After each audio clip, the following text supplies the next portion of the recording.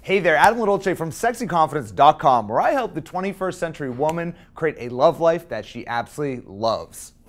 Whoa! I'm Ann LaDolce. I'm Adam's mother, and I've been a divorce lawyer for over 41 years. Whoa! Whoa. And in this short video, we're gonna share with you the three biggest reasons why those relationships failed.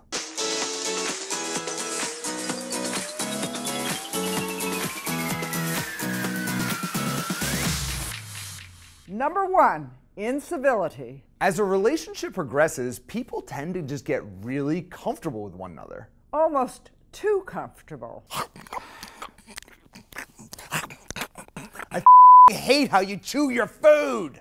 And it's really easy to become unnecessarily mean to your partner. Some people just take one another for granted after years go by in a relationship. Instead of just being nice and polite to their partner, some people just become mean about even the smallest things. Thank you, Mom, for being so great in this video. You're welcome, Adam. You're the greatest son a mother could ask for. So be nice to your partner and to your mother. Number two, you constantly seek the chase. A secure and healthy relationship is, by nature, a little bit boring sometimes because the chase is just gone. I love you. I love you too, honey. Ooh.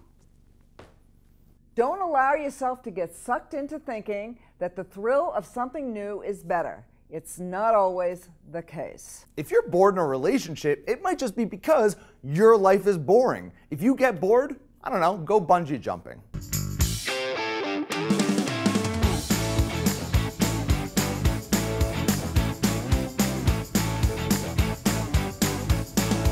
Excitement in your life, not always just in your love life. Love is supposed to feel warm and safe, not like you're jumping off a bridge. As a mother, I forbid any sexy, confident woman to go bungee jumping. Number three, alcohol abuse.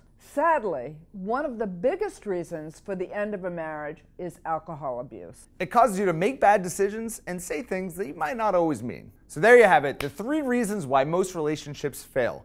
I want to ask you now has a relationship ever failed because of one of these three reasons? Please comment right there below. So thank you so much for watching this. And if you enjoyed this video, please give it a like on YouTube right there below. Also, don't forget to subscribe on YouTube for more videos just like this every single week. And if you haven't been over to sexyconfidence.com, go ahead and click this link right here. Yep, click this link right here. And you can be able to download an awesome book. It's called Men. It's going to teach you the seven fundamental truths about men and dating that all women must know. And you'll also get videos like this in your email inbox every single week. Thank you so much for watching, and I'll speak to you next week. Bye bye.